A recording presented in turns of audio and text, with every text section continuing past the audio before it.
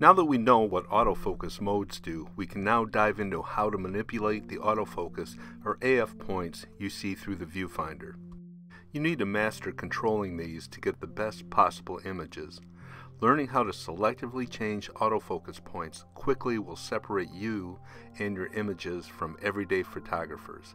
The good news is that it's easy and becomes intuitive with a little bit of practice. When you look through your camera's viewfinder, you see a set of squares that look like they're orbiting around a square in the middle. These are the autofocus points. The 10D has 7 autofocus points. The 30D has 9 autofocus points. The T2i has 9 autofocus points also. And finally, the 7D has 19 autofocus points that can be controlled individually or in groups. We'll learn how to control the autofocus points using the simplest camera that we have, the 10D. In order for you to select the autofocus points, you have to press the AF point selector button, which is in the top right hand side of the back of the camera. The AF point selector on the 10D is the same on all prosumer models and professional models. It's always in the upper right. The AF point selector button is the same on the 30D and the 7D. So this is what you'll see after you press the AF point button. The camera remembers what points you've previously selected. So in this case, if you had previously selected all of the autofocus points to be active, that's what would show. You select the autofocus points by rotating the quick dial or the main dial. If you rotate the quick dial, the vertical points will change.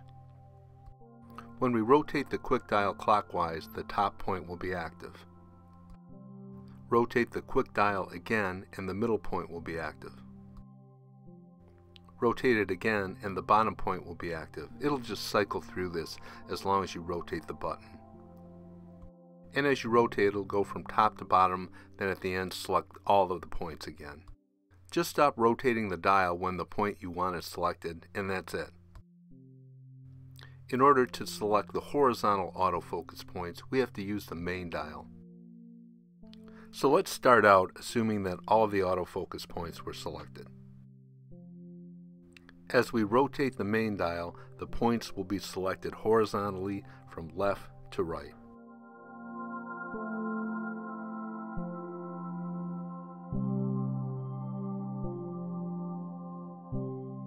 And as you complete rotation on the main dial, all the points will be active unless you start rotating again. Now we'll move on to the 30D. The 30D has 9 autofocus points and you control them a little bit differently. Again, we'll start out assuming that all of the autofocus points were previously selected.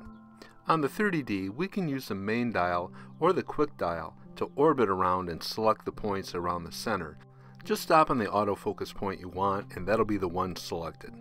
And like the 10D and all the other cameras, if you wind up having them all selected, they'll all be active.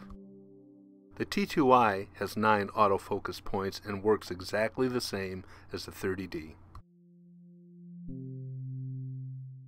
We make a really, really big leap in control using the 7D.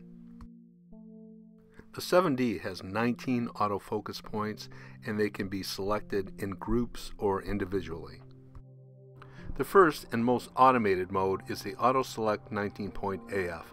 All of the 19 autofocus points are used and the camera makes all the decisions when focusing. The next mode is Zone Autofocus. You select banks of autofocus points for focusing. And lastly, we have the familiar single autofocus point selection. There's an extra button we have to press in order to cycle through and activate these modes. That's the MFN function button on top or manual function button. So let's see how this works. So here's where we change the focusing mode on the 7D. You press the quick button, then use the multi-controller to select autofocus points. Sometimes the multi-controller can be just a little awkward to use. You then press the set button to get to the menu. Now you press the MFN button on top of the camera to cycle through the selections. This is a 19 point auto select. If you want it, press the set button. This is a zone select. You rotate the quick dial to select the bank of autofocus points you want to use.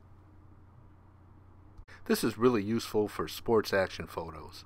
Next we come to the single point selection. Here we use the quick dial and the main dial just like we did on the 10D. The quick dial selects the vertical points and the main dial selects the horizontal points. All the cameras autofocus really well, but out of the whole pile, the 7D has the most sophisticated autofocus point control system.